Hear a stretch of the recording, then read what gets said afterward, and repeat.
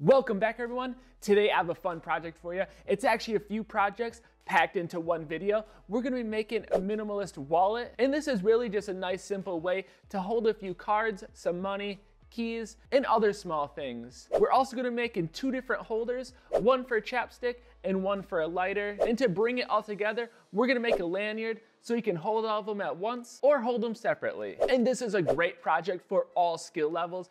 It's super easy and you can really crank a lot of these out in a short amount of time. The pattern is free and it comes with a list of supplies and also links for those supplies if you're struggling to find materials. But like always, if you're new to the channel, grab that download and let's get started. All right, starting off with the supplies for the minimalist wallet. This is gonna be the first project. For the main fabric, you're gonna need three inch elastic, and it definitely has to be at least three inches because three inches is the perfect size so it doesn't go over the edges of your cards and it doesn't leave too much of your card exposed. And surprisingly, for the three inch band elastic, there's a lot of colors out there, but I'm gonna also give you some more ideas on what to do if you can't find the right color. You're gonna wanna grab yourself white elastic. And this is what most people do. They use a white elastic and they dye it, or they do a sublimation printing. And this is where you print off your graphic and you heat press it onto your material or fabric. But I'm not gonna get too far into actual heat pressing and doing that process in the video. But if that's something you'd wanna see, definitely comment down below and I'll make a future video out of it because you can actually utilize that on all your garments. You're gonna need one key ring. I use three quarter inch in the video. You can use bigger or smaller. It really depends on the look you're going for and how many keys you're actually gonna be putting on your wallet. You're gonna need ribbon or webbing, and I recommend getting a quarter inch width or smaller. You want it small enough to fit through your keyring with no problem. And there are a few more options. You can use cord or leather. I'm actually using leather in the video because if you're making the lanyard, you're probably gonna have leftover leather, so you might as well utilize that if you're using that option. And I'll get more into those supplies when we start making the lanyard. And last, you're gonna need your pattern. This pattern is a free pattern and it's available at properfitclothing.com, so definitely go download that. And you don't have to sign up for anything. You just go to the link down below, download it, and you're ready to go. So once you have your pattern downloaded, it's time to move into cutting. Cut out all of your pattern pieces on the black line and we're to start with the main pocket panel and the secondary pocket panel. For the welt, we're going to be using 3 inch and 2.5 inch elastic. For the main pocket panel, we're going to be using 3 inch elastic. Place the pattern on your elastic and cut. Repeat this process for the secondary pocket panel on your 2.5 inch elastic. And the key is to make sure that both of these panels are cut as even as possible. Next, we're going to place a secondary pocket on the main panel and grab your choice of material to connect the keyring. I'm going to be using a small strip of leather to connect my keyring. Slide your material through your keyring and we're going to place it on the upper half of the main pocket panel, in between the secondary pocket and the top edge. Line up the main and secondary panels as even as possible and you can leave about a quarter inch of your keyring material hanging off the edge. Sew it at a quarter inch seam allowance and be sure to tack at the start and the end. From here you can trim off your keyring material, and neaten up that edge as a whole. You want that edge to be as flat as possible so cards don't catch it on the way in and out. And the last little tip is to use a lighter on the edge to prevent it from fraying. But it's always best to check what your material is made of before you take a lighter to it. After neatening up the edge, go ahead and flip the right sides out. Do a quick look around, make sure the top edges are looking good and strong. The leather strip is actually sticking out too far for my taste, but this is an easy fix for the next one. But they're really that simple to make. Slide your cards in it, slide some money in it, add a key, and you're all set to go. And the elastic holds everything nice in place so you don't have to worry about losing anything when you're taking it in and out of your pocket. Next, I'm going to show you a really quick technique on how to brand it. I'm going to be using a branding iron and a scrap piece of leather. And this is a nice long-term solution for branding all of your projects. You just press it to your leather after heating it up, and trim around the outside edge of your logo. Next, I'm going to secure it down with a little bit of fabric glue and add it to my secondary main pocket on the right or the left edge. Press it down firmly and keep in mind the seam allowance, so place it on the inside of the seam allowance. And this is just going to keep it in place for a more precise stitch and I'm using an edge presser foot, but I didn't have the right one, so I actually went too far in on my logo because I actually don't use this logo a lot, so I don't have the correct presser foot, but all you do is go around the outside edge, and try to make it as neat as possible. And after stitching, you can stretch your material and your logo will be securely in place. And I think adding the logo really makes it look like a complete store-bought product. But this is just one method for adding your logo, so get creative with it and find something that works for you.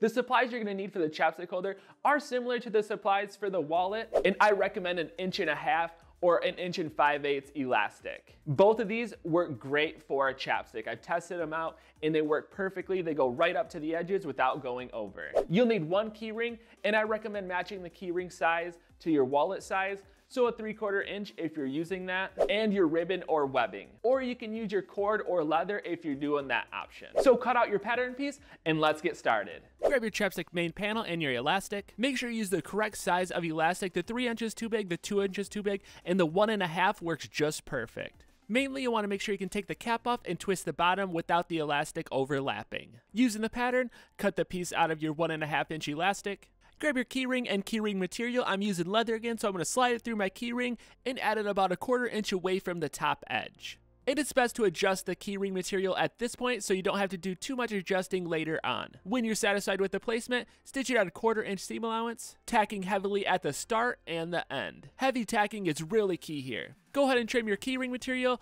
clean up the edge, and flip it right side out. And that's going to complete your chapstick holder. It's a super simple project, but it's really useful and fun to make. Just another quick thing to throw on your lanyard. The supplies for the lighter holder are similar to the chapstick holder, but you can actually use a wider elastic. And we're gonna utilize a secondary fabric, and this is gonna be your two inch elastic. You'll need one keyring, same size as the wallet, and lastly your ribbon, webbing, leather, or cord to hold it on with. So cut out your pattern and let's get started grab your lighter holder main panel and the same thing goes for this use an elastic that's going to be a little bit wider we're using the two inch elastic you can use the one and a half, but I like trying to cover up most of the lighter so it has a better hold. Place the pattern on your elastic and cut it out. Grab your keyring material and keyring, feed your material through the keyring, place it a quarter inch away from the top edge. If you already made the chapstick holder, it's going to go in the same exact spot. Make sure the keyring material is at the length you prefer, and stitch at a quarter inch seam allowance. Just like all of them so far, make sure you tack heavily at the start and the end of that stitch trim off the keyring material, clean up the edge, and flip it right side out. It's to look similar to the chapstick one, but it's a tad bit longer and wider. And your lighter holder is complete, another super simple project. And you can actually use it for more than just a lighter. It fits perfectly on my scissors and I might just throw it at a station because I always seem to walk around with my scissors and I just leave them in areas. So if I just strap it to a station, I'll always know they're there. All right, moving on to the supplies for the last project which is the lanyard. These are super fun to make and really easy, and you can make a lot with very minimal supplies. You'll need one lobster clasp, and I'm using a half inch in the video. I find it to be the perfect size, but you can go bigger if you're trying to add a lot of stuff onto this clasp. You'll need one yard of a half inch webbing and I found a half inch to be the perfect size. It's just small enough to make it nice, lightweight, and compactable. And lastly, you're gonna need your leather or vinyl if you can find a nice vinyl. I'm using leather in the video and I'll have links below where you can buy just a very small amount and utilize it for this entire project. So cut out your pattern piece and let's get started. Grab your lanyard leather base panel and cut the pattern out of leather. Can be fairly hard to get these perfect arches, but you can use simple end trimmers to cut it out if you're trying to make a lot of these. What you do is find a size that matches up with the pattern and then you hammer it out on both sides. And you can actually do this for the entire piece by using hollow leather dies. This is the best solution for making it perfect every single time. You can also use these for your keyring material if you're using leather. These kits come with a bunch of different shapes and sizes, so you should have everything you need. The main goal is to get the base leather panel to wrap perfectly around the bar of your lobster clasp. And we're going to be using a half inch webbing Half inch works perfectly with the pattern. It allows the top of the base panel to hang over the webbing just a little bit. You can use 1 inch webbing or ribbon, but you're going to want to widen the top of that base just a little bit so it hangs off the edge of that 1 inch webbing. Once you decided on your webbing, go ahead and cut it at your preferred length. This is going to be based on what you're using it for, if you want it longer or hanging out of your pocket or just around your neck. I cut mine at about 20 inches line up the ends, and sandwich your leather base in between those ends. We're going to stitch the sides and inside edge. Just like the leather patch, we're going to use fabric glue to tack it down so that way everything stays in place so it makes it easier to get a nice clean top stitch. Add the amount of glue based on the type of glue you're using, sandwich it on the end, and wait for it to dry before sewing. I'm going to be using an edge presser foot so that way I can get nice clean stitches along those side and inside edges. And you can stitch at whatever length you want to the outside edge. I recommend stitching at least on the inside of a quarter inch. And with time, this will look a lot nicer. It takes practice to really get this looking good. And you can also brand your lanyard to add a nice little detailed touch. I riveted a patch on and I could also use this as another little hook too. The lanyard really brings all the projects together because you can just go ahead and clip everything onto that lanyard and you're set to go. And there you have it. All your projects are complete. Thank you so much for watching. And if you have any questions about any of these projects, definitely comment down below and I'll get back to you. Or send me a chat on the Proper Fit Clothing website and we'll definitely get back to you there. But like always, Thank you so much for supporting the channel and watching the video. And if you ever have any projects you want to see us make, definitely send it our way and we'll make it happen for you. But until then, we're to keep the videos coming at you, so we'll see you next time.